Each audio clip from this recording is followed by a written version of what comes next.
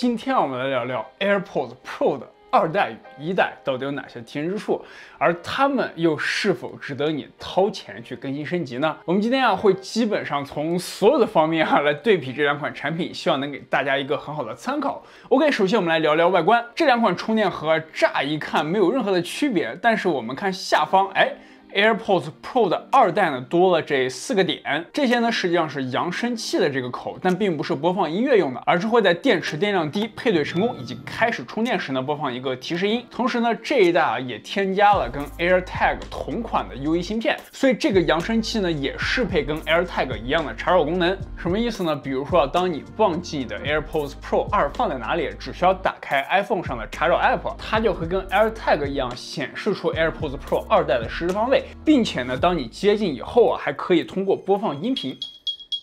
再来一次，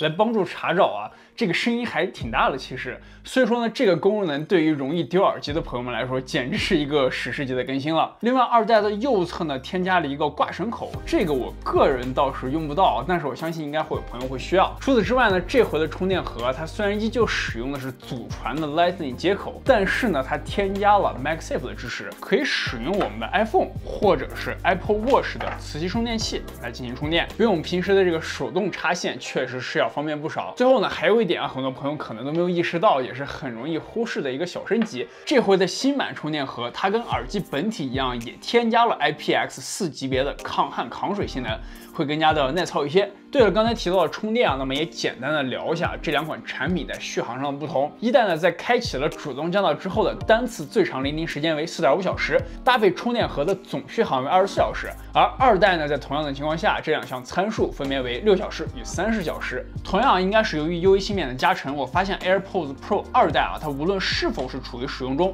都是呢可以在 iPhone 上实时查看电量的。而一代呢，则只有在使用期间，像我这样打开，它才会显示出来。OK，那么看完充电盒，我们再来看看耳机本体，也是啊非常相近的造型。但是可以看到耳机侧面的这个黑色的条啊，它缩短了一些。一代呢，这里是降噪跟收音所用的麦克风，而二代这里看上去呢，则只是一个装饰性的黑条。它呢，把麦克风移到了上方的这里，下面呢也有一点点的不同啊，可以看到在一代下面有个黑点，二代是没有的。这里呢，我也替大家试过了，一代跟二代是可以装进对方的充电盒的。并且也可以识别，甚至在 iOS 十二的零中啊，如果你是两只一起装错了，它不会有任何的错误提示，就很有意思。不过如果你只是装错了一只耳机，它则会告诉你，哎，你两边不是一对的。不过我发现耳机似乎并不会在错误的充电盒里充电。我买回来的第一天呢，就把它们俩装反了，而到了第二天呢，它们还是维持了昨天的电量百分比。所以大家一定要注意，不要放反了耳机。另外还有一个在外观上看不出来的升级啊，就是二代的耳机柄上，它除了按压。传感器以外，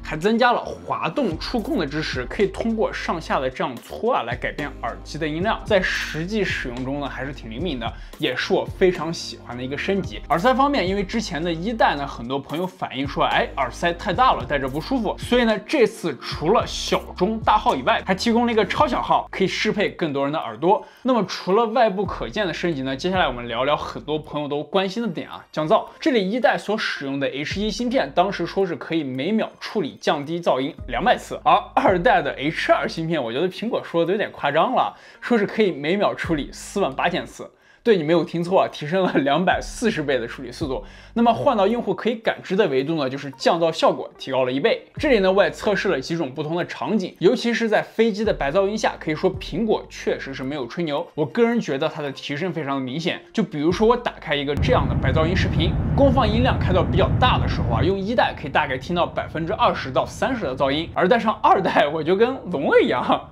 最多也就只能听到百分之五的声音。同时呢，一代在降噪时啊，我觉得是有一个很小很小的那种像气流声一样的这种音效啊，非常小，可能很多朋友都注意不到。但是呢，在二代我是完全没有听到的。但是除了降噪，苹果的另一个非常厉害，一直被模仿，从未被超越的功能就是通透模式。这个模式呢，在大部分情况下，其实我并没有感觉到两代有很大的不同。但是二代它加入了一个叫做自适应通透模式的功能。用人话来说啊，就是让 AirPods Pro 二检测到周围有很强幅度的噪音，比如说像工地施工或者鸣笛的时候啊，它就会自动降低这部分频率的强度，来让你更舒适的听到周围其他更有用的声音，并且保护听力，算是一个小升级。而说到音质方面啊，这里呢，我在听同一首歌时最直接的感受就是二代的声音要通透许多。而且它低、中、高频的分离度更高，尤其是低音部分啊，加强的很明显。每当呢我从二代切回一代时，就能够很明显的感觉到一种哎声音变得闷闷的感受。而且不知道是不是错觉，我觉得二代在同样的音量设置下，它的声音会更大一些。当然呢，也有一个遗憾啊，就是 AirPods Pro 二依旧是不支持 Apple Music 无损音频的。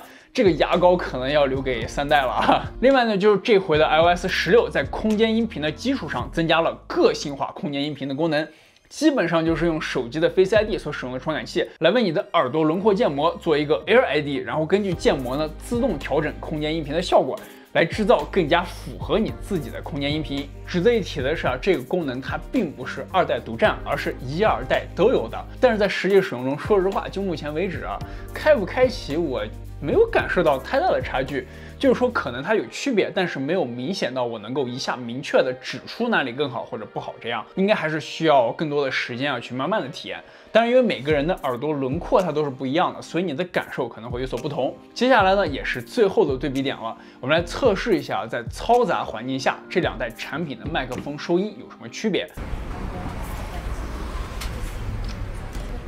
首先，现在是 Pro 一代的收音，我正在使用苹果自带的录音功能，在一个模拟的城市街道环境下所录制的音频。OK，那么现在切换到了 Pro 二代的收音，依旧是使用苹果自带的录音功能，在一个模拟的城市街道环境下所录制的音频。可以听出啊，两者在对于背景噪音的过滤上都非常的出色，但是在人声拾音方面，Pro 二代无论是在人声的响度还是清晰度上，都是要明显的强于一代的。好了，那么到这里，我们今天所有的对比啊，就都已经聊完了。我相信看到这里啊，你心里对于升不升级应该已经有了感知称了。但如果你问我的意见的话，那我觉得如果你还没有入手任何一代的 AirPods Pro，而是在纠结是选择打了折、性价比更高的一代。还是新出的二代的话，那么我觉得这个就根本没有悬念，我强烈推荐 AirPods Pro 二代。它的这些增强呢与新功能绝对值得这多出的几百块钱。而如果你跟我一样是在一代刚出的那一年内就入手，并且一直保持较高强度在使用的话，那无论是从日常的使用体验，还是这三年来的电池衰减上来说，入手二代呢其实也是一个还不错的选择，各方面呢都有可以明显感知到的提升。而如果你刚刚入手了一代还不满两年，连 Apple Care 加都还没到期的话，又或者只是偶尔使用这款耳机，那我觉得确实没有太大的必要去升级啊，不如咱一起等等几年后的三代，看看还会更新些什么。OK，那么今天的视频呢就到这里了。如果你喜欢我的视频，别忘了点赞、收藏、转发以及订阅我的频道。我是菠萝，我们下期视频再见，拜拜。